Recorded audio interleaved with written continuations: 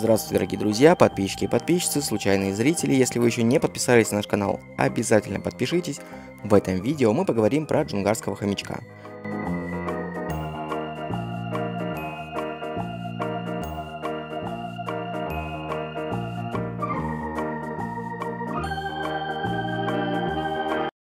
Джунгарский хомячок – очень популярный меховой комочек среди домашних животных. Один из самых маленьких хомячков. Максимальный размер джунгарика достигает 10 см. При этом максимальный вес чуть больше 60 грамм. Однако, чтобы этот максимальный вес набрать, нужно очень постараться. Чаще всего не превышать 45 грамм. В живой природе обитает в южно-сибирских степях России. Благодаря своим маленьким размерам джунгарские хомячки часто являются лакомым кормом для всех видов хищников и, как правило, до старости не доживают.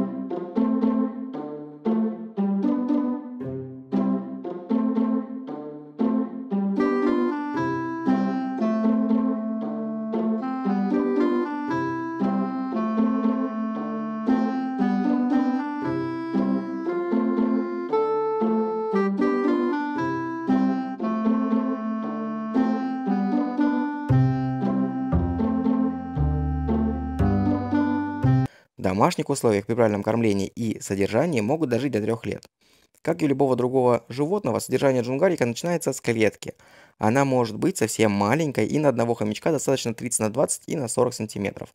Важно, чтобы клетка была с пластиковым поддоном. Это облегчит уборку клетки, и она не так быстро прогрызется, как деревянная. В качестве наполнителя используют опилки, желательно не хвойных деревьев.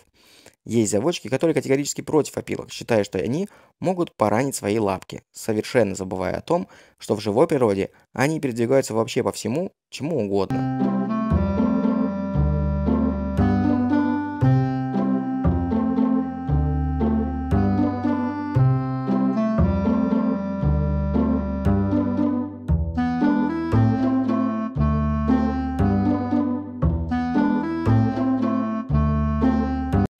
Следующим важным оборудованием для клетки является ниппельная поилка для воды и керамическая миска. Конечно, можно поставить и две пластиковые миски, одну для воды, другую для еды. Однако они очень быстро придут в непригодное состояние, их придется менять. Следующее, что понадобится для содержания джунгарика, это домик и беговое колесо. Беговое колесо можно купить совсем маленькое, ему хватит. Дальше все зависит от вашего к хомячку отношения. Не обязательно, но они любят лесенки, качельки и тоннели. Их можно купить или сделать самому.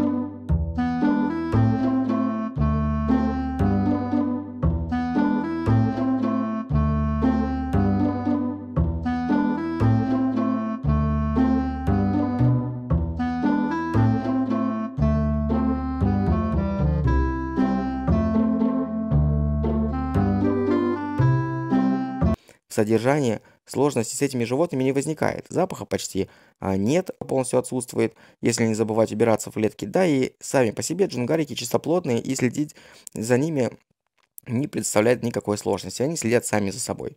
В кормлении неприхотливы. Но не стоит забывать, что основным кормом являются различные зерновые культуры, семена тыквы, подсолнуха, пшеницы, орехи и многое другое. Помимо зерновых культур можно давать вареное яйцо, кусочек мяса и творог. Часто джунгариков балуют различными насекомыми. Что нужно знать, если вы хотите пару или несколько хомячков? Лучшим вариантом будет, если вы возьмете хомяков из одного помета или семейства. В противном случае возможны стычки на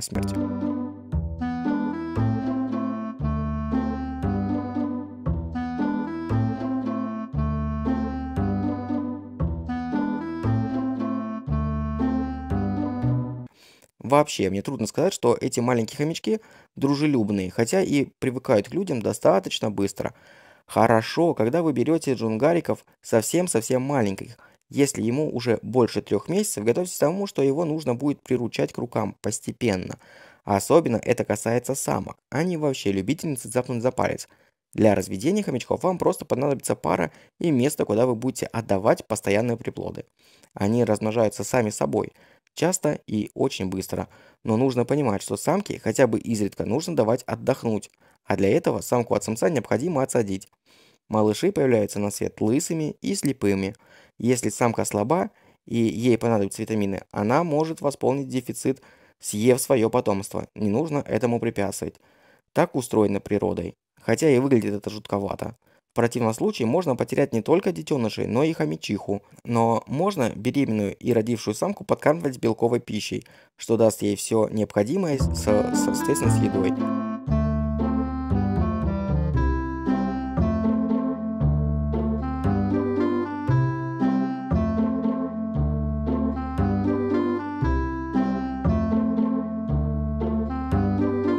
На этом видео подошло к концу.